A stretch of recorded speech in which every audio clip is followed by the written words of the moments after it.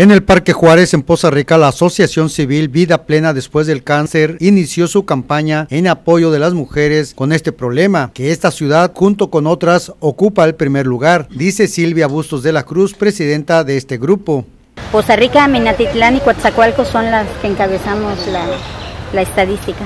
En un año que ha sido difícil ante esta situación, están trabajando con números rojos. Asimismo atienden a un número de más de 67 mujeres, entre estas ya hay jovencitas. Porque ya está en, este, en mujeres mucho, mucho, muy jóvenes.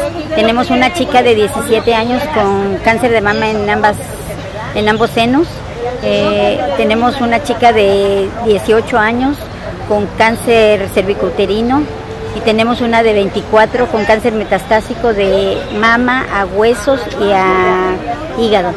Con diferentes actividades inician Octubre Rosa. Ahorita, este, hoy es esta actividad de recaudación. El día 11 esperamos a la licenciada Isabel Aloy, que estamos convocando a los medios, que eh, va a ser una conferencia de prensa en el aeropuerto. Isabel Aloy es una fisioterapeuta que año con año nos viene a dar conferencias, nos viene a dar consultas gratuitas a nuestras apoyadas y es eh, de verdad una, un gran ser humano.